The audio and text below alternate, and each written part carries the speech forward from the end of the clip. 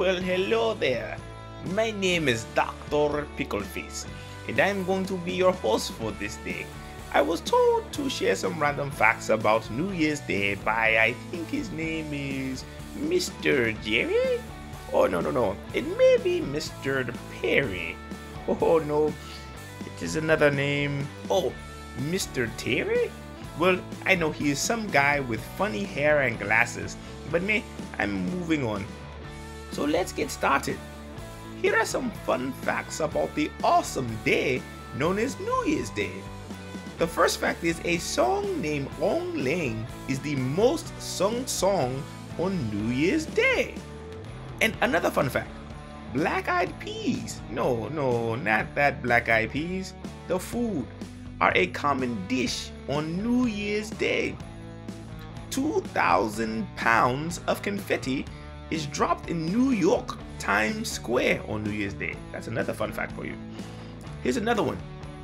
Millions of people make New Year resolutions. That's just a fancy word for goals. And they do not keep them.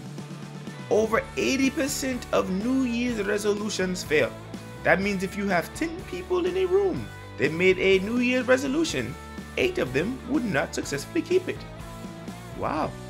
Well, you know what? I have a friend I want you to meet, and he will talk to you more about resolutions or uh, the goals that people make. My buddy Al, are you there? Happy New Year, streamers. Welcome to the new year. My name is Al Lien, but you can call me Al. I'm so thankful that you are here with us today and ready to learn. Mr. Terry and Dr. Pickleface asked me to discuss setting goals with you. That actually goes by another name known as New Year resolutions, too. and you have probably heard of the word resolution, as many, many humans set these things called New Year's resolutions at the beginning of a new year. And they try their best to stick to them. Resolutions are just goals that people are setting to try and do better in an area that they felt they need to change. Some resolutions people make are fitness based, like uh, like going to the gym or uh, eating healthier. Like me, I'm, I'm going to be drinking more water from now on. Oh, oh, uh, that's water, I promise. Um, um, okay, you got me. It's soda. But hey, I'm trying to do better.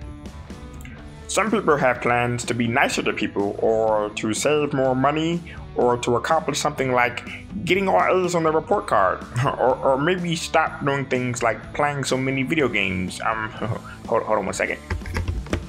I, I'm, I'm finishing my career on 2K20. You're a step on the haze and finish at the rim. In your face, LA. Got to be stronger next time, bro, bro. oh, oh, sorry about that. Uh, where were we? All oh, right. Wh- whatever the resolution is, one thing that typically happens with most people they fail. well, I guess that's not funny, but but hey, this happens mostly because humans just say they're going to do something without creating a realistic or smart goal. Also because people don't include God in their plans. That's also very important. So let's talk more about that part. The Bible tells us in Proverbs chapter 16 verse 3, commit to the Lord whatever you do, and he will establish your plans.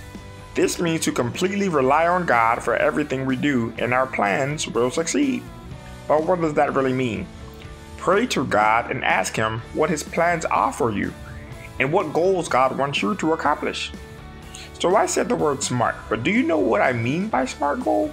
SMART is an acronym for sandwich makers are really tall. Hmm. No, no, wait, that's not right.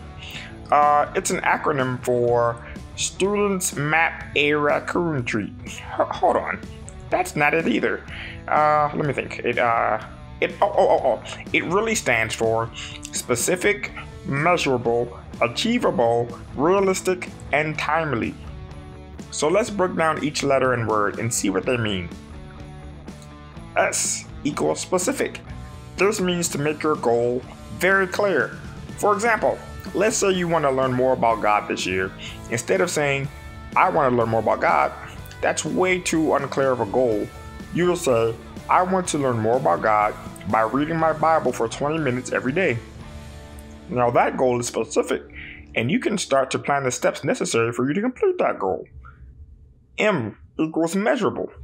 This means how will you be able to know that you are making progress with achieving your goal? This usually involves numbers. A equals achievable.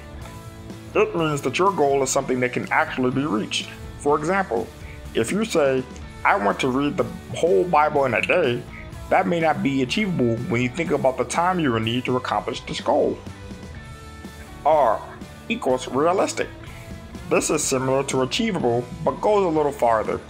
This is where you question if your goal is, is even real. If someone said their goal is to grow big muscles like Dwayne The Rock Johnson by Friday, well, that's just not realistic in that time frame. T equals timely. This means that you set a time for your goal to be accomplished. It can be days, weeks, months, or a year.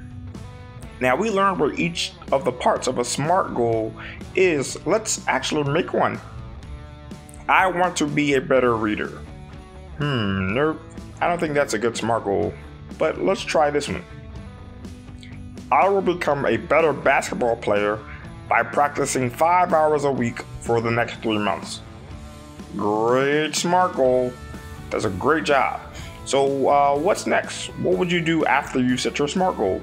Well, I'm glad you asked. The next thing is actually working to accomplish your SMART goal. But what if you what if you mess up? Let's say for two weeks straight, you are only able to practice one hour a week and not five. Well, that's okay. Many times people give up on their resolutions and goals because they messed up or couldn't do it a few times. But don't quit. You have to keep going and be okay with messing up sometimes.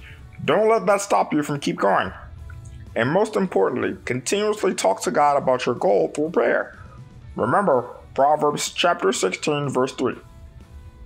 Alright, extremers, we learned about SMART goals and other cool things today, so feel free to share some of your New Year's resolutions or SMART goals with us in the comments, with parent permission, of course.